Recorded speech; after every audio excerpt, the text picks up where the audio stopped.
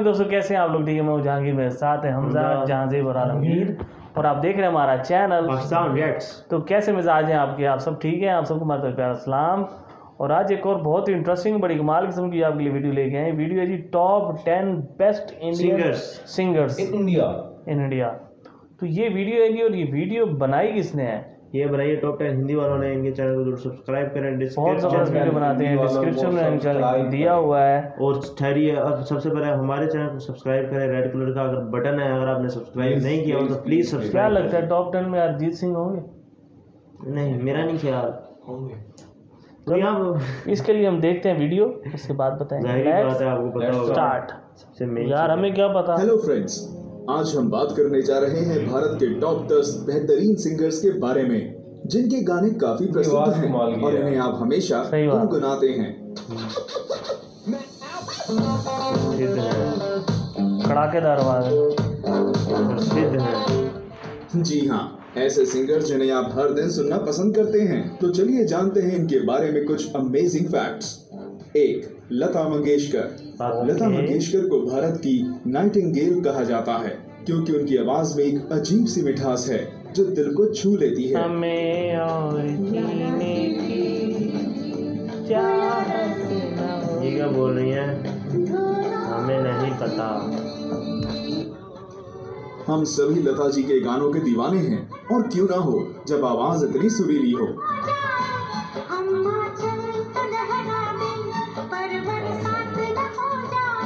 सारे के हैरान रह जाएँगे कि लता मंगेशकर ने लगभग पचास हज़ार गाने गाए हैं जो कि Guinness book of world records में शामिल है। जी ऐसी महिला हैं जिन्होंने 36 भाषाओं में गाना गाया है। लता जी को तीन बार राष्ट्रीय पुरस्कार से सम्मानित भी किया जा चुका है। तो ये सुदास ये सुदास एक ऐसा नाम है जिनका नाम संगीत जगत में हमेशा अमर रहेगा। ऐसा माना जाता है। कि येसुदास ने लगभग अस्सी हज़ार गाने अलग अलग भाषाओं में रिकॉर्ड किए हैं। उनसे भी ज़्यादा है? हाँ वर्ल्ड रिकॉर्ड मिलता होना चाहिए। वो भी बड़े पुराने दौर में गए इन्होंने। जिनमें अंतर्राष्ट्रीय भाषाएँ भी हैं जैसे कि अंग्रेज़ी अरबिक लैटिन अच्छा, रशियन। आप सुन के आश्चर्यचकित रह जाएँगे कि ये एक ऐसे मेल सिंगर हैं जिन्हें राष्ट्रीय पुरस्कार से सात बार सम्मानित किया जा चुका है। तीन मोहम्मद रफी। ये बंदा सुना बड़ा मोहम्मद रफी साहब ने भी काफ़ी सारे गानों में अपनी आवाज़ दी थी। ऐसा माना जाता है कि रफी साहब ने लगभग अट्ठाईस हज़ार गाने 11 भाषाओं में गाए थे। रफी साहब को एक बार रहतरीय पुरस्कार और पद्मश्री से सम्मानित किया जा चुका है। उन दिनों रफी साहब और लता जी की जोड़ी कमाल की अच्छा। थी और बॉलीवुड में लगभग हर गाने में प्लेबैक सिंगर्स यही दोनों थे। इन दोनों हाँ। ने अपनी आवाज़ से पूरे देश में धूम मचा दी थी। चार किशोर कुमार। किशोर कुमार जी के हाँ, बारे में तो क्या ये वो स्टार थे। और इन्होंने एक्टिंग और संगीत दोनों में अपना करियर बनाया था। किशोर कुमार ने लगभग 2000 गाने गाए थे। और एक वक्त ऐसा भी था जब रफी जी से ज़्यादा किशोर कुमार को गाने के कॉन्ट्रैक्ट्स मिलते थे। अच्छा। मरने से पहले किशोर कुमार का एक ऐसा गाना रह गया था जो रिलीज़ नहीं हुआ। हाल ही में इस गाने को किसी ने 14 लाख रुपए देकर खरीदा है। अच्छा। किशोर कुमार जी को संगीत के लिए काफ़ी पुरस्कारों से सम्मानित किया गया है। पाँच उदित नारायण। उदित नारायण बॉलीवुड हाँ। में जाना पहचाना नाम है। इन्होंने अपने करियर में लगभग पच्चीस हज़ार गाने छत्तीस भाषाओं में। गाए हैं। जो बेमिसाल है। अच्छा इसका रिमेक भी बनाया हुआ है ना? मंजिल प्यार की। ये बंदे के गानों मुझे बहुत अच्छे लगते यार। भूषण से सम्मानित भी किया जा चुका है। यहाँ तक कि उदित जी को तीन बार राष्ट्रीय पुरस्कार से भी सम्मानित किया गया है। एक वक्त था जब बीबीसी तो टॉप 40 में 21 गाने उदित नारायण जी के ही हुआ करते थे। आज भी वही सब गाने सुन के लोग झूम उठते हैं। सही बात है। शादियों में इन्हीं के गाने ज़्यादा चलते हैं। हाँ बहुत ज़्यादा फ़ेमस है। नाइन परसेंट उनके गाने हो गए शादियों पे। छह अभी भी। कुमार सानू। कुमार सानू ने हिंदी फ़िल्म जगत में बहुत सारे गाने गाए हैं। कुमार जी का रिकॉर्ड है कि उन्होंने एक दिन में 28 गाने की रिकॉर्डिंग की थी जो गिनेस बुक ऑफ़ वर्ल्ड दिन में रिकॉर्ड्स में 28 शामिल है। इनकी आवाज़ जनता के दिल को छू लेती थी। और इसी कारण ये बहुत ही मशहूर हैं। इन्होंने हिंदी सिनेमा जगत में एक से बढ़कर एक हिट्स दिए हैं। आज भी लोग इन्हें सुनना पसंद करते हैं। इन्हें पद्मश्री से भी नवाजा जा चुका है। सात अलका याग्निक। अलका याग्निक जी को कौन भूल सकता है? उनकी आवाज़ में एक मिठास थी जो सुनने में हमेशा से ही अच्छी थी। उन्होंने हिंदी सिनेमा जगत में काफ़ी सारे गाने गाए हैं। है। इनके नाम लगभग लिए? पच्चीस गाने केवल हिंदी सिनेमा हाँ में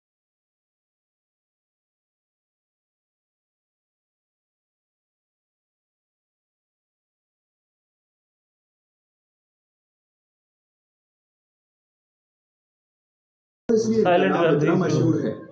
इन्हें तीन बार राष्ट्रीय पुरस्कार से सम्मानित किया गया है जो कि अपने में ही बहुत बड़ी बात है।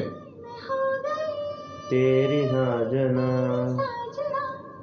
बहुत अच्छा। आठ श्रेया घोषाल। श्रेया घोषाल एक ऐसा नाम है जिसे हम सब सुनना चाहते हैं। ये बहुत कमाल सॉन्ग है। इनकी आवाज़ कोयल जैसी प्यारी है और किसी भी गाने में जान डाल देती है। इतनी कम उम्र में श्रेया चार बार राष्ट्रीय पुरस्कार जीत चुकी हैं। उन्होंने कई भाषाओं में गाना गाया है और राष्ट्रीय पुरस्कार उन्हें हिंदी बंगाली और मराठी गाने के लिए मिला है। वह एक वर्सटाइल सिंगर हैं और आज की जनरेशन की आइडल हैं। नौ सोनू निगम। सोनू निगम को बच्चा बच्चा जानता है। गाने बहुत ही मशहूर हैं। ग्यारह भाषाओं में लगभग हमेशा नंबर टेन ऊपर से नीचे आ रहे हैं। नो हो गया भाई अरिजीत सिंह ही होंगे। सोनू निगम बहुत हाँ। कुछ सॉन्ग हैं जो हम साइलेंट करेंगे? इनकी हर एल्बम सुपर हिट रही है। इन्हें मूवी कल हो ना हो के लिए राष्ट्रीय पुरस्कार भी मिल चुका है। इसलिए इनका नाम संगीत जगत के दिग्गजों में शामिल होता है। जहाँ जी भर जियो बहुत सूरज हुआ मध्यम कल हो चाँद जलने लगा आसमां ये हाय क्यों पिघलने लगा? दस अरिजीत सिंह आजकल अगर गाने में कोई मशहूर है तो वो है अरिजीत अरिजीत सिंह सिंह। यूथ इनकी फ़ैन है और मॉडर्न जनरेशन को उनकी आवाज़ बहुत ही सुरीली लगती है। ये हर जगह छाए हुए हैं। और लोग इनकी आवाज़ के दीवाने हैं। आज के जमाने में शायद ही कोई ऐसा हो जो अरिजीत सिंह को टक्कर दे सके। अच्छा इसके हर सॉन्ग ही तकरीबन हिट होता है। वो एक से बढ़कर एक बेहतरीन गाने अरिजीत ने गाए हैं जो कि सुपरहिट रहे हैं। अरिजीत अक्सर बंगाली और हिंदी में ही गाना गाते हैं। बहुत ही कम उम्र में अरिजीत सिंह ने वो मुकाम हासिल कर लिया है जो बहुत लोगों के लिए सपने जैसा होता है। तो ये थे हमारे टॉप 10 प्रसिद्ध सिंगर जिन्होंने खूब नाम कमाया है संगीत के जगत में। हमारे कमेंट सेक्शन में आप बताइए कि कौन है आपका फेवरेट सिंगर ऐसे ही चटपटी टॉप 10 वीडियोस के लिए हमारे चैनल को लाइक और सब्सक्राइब करना ना भूलें। Thank you so much so guys video बहुत अच्छा था। और मेरे फेवरेट अगर मैं देखूँ ना मेरे फेवरेट नंबर वन पे तो हैं अरिजीत सिंह। इसमें तो कोई डाउट ही नहीं है। ही। सही मेरा नहीं मेरे हैं मोहम्मद रफी। और दूसरे नंबर पे हैं जी मेरे फेवरेट उदित नारायण। उत्तर ठीक है? क्योंकि मैं बचपन से उनके गाने सुनता आ रहा हूँ। अरिजीत सिंह होना चाहिए बीच में।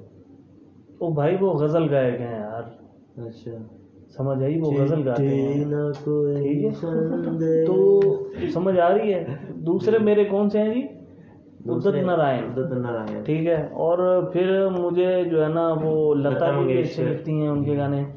हम्म और तुझसे नाराज़ ज़िंदगी। परेशान और श्रेया घोषाल के बाद बहुत अच्छी लगती है। हैरान हूँ हैरान अच्छा, हैरान। हूँ। नेहा कक्कर नहीं आई। ओ भाई टॉप ट्रेंडिंग होती है पे। ये टॉप टेन वो महान कलाकार हैं जो जिनका नाम है। जगजीत सिंह की समझ जगह आ रही है? है? बीच में यार। रफ़ी साहब हैं और उसके बाद तो की गजलें भी हैं उनकी। लेकिन वो गाने भी तो गाते हैं ना अस्सी हज़ार गाना अट्ठाईस हज़ार गाना गाया उन्होंने।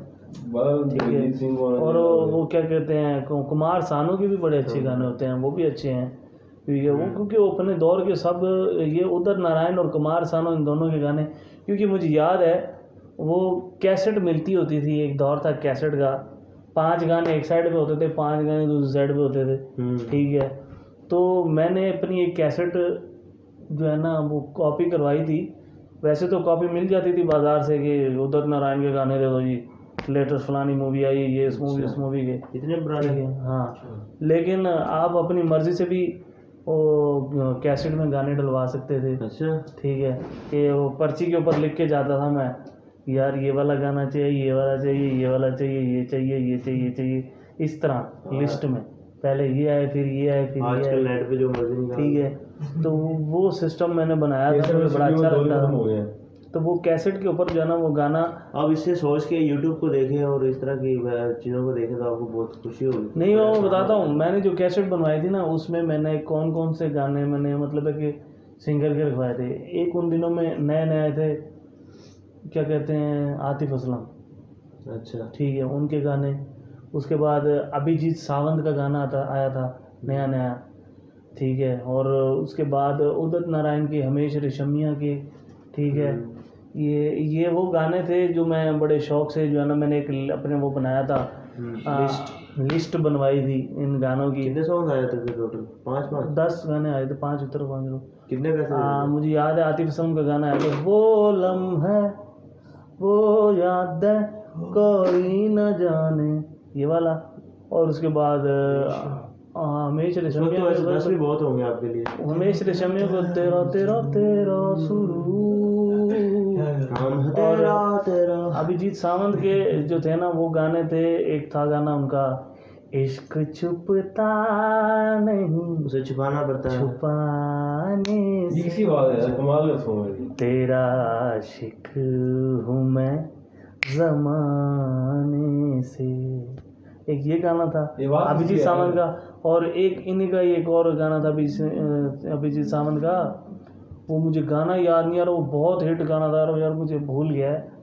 मैं बड़ा सुनता था वो गाना मुझे जबान उनका अलग याद नहीं आता। वो आशिक मजाज टाइप के गाने गाते थे ऐनक वाले अभिजीत। आशिक मजाज गाने होते थे उनके आ- एक ये वाला होता था। हाँ ए, एक उन दिनों में नए नए गाने आए हुए थे वो वो भी मैंने सुने हुए थे। बॉबी देवल की मूवी के। चिट्टी दर्द कुड़ी नवी नको दिल लके उड़ी नवा सुना। है। रात हो या सवेरा हो या हो बरी दोपहर। कहती मैं सोने मंगा मैं तेरी खैर। और इसके अंदर वो था ना गाना तो बड़ा हैं। नहीं नहीं वो इसमें वो गाना है ना बड़ा मशहूर था। पीछे पड़ी है आशिकी तेरे कदमों में। नूर ही बस नूर है। इन नज़रों में। बस करें वहाँ लोग यार और आपको दे देंगे। तो ओ, नहीं नहीं एक एक और गाना था इसी गाने के यार। जो हाँ छल्ला छल्ला छल्ला छल्ला छल्ला पवा दे माही। छल्ला पवा दे माही। माही माही माही मैनू छल्ला पवा दे। बड़ा सुंदर है सुना ये गाना बहुत ज़बरदस्त है, बहुत चला माही माही आई थिंक आई थिंक मुझे मैं सो गाइस वीडियो वीडियो बहुत अच्छा था। आपकी टॉप टेन कौन से आपने ज़रूर बताना है। जाने से पहले आपसे कहेंगे हमारे चैनल को सब्सक्राइब करें लाइक करें कमेंट करें। Keep watching Pakistan react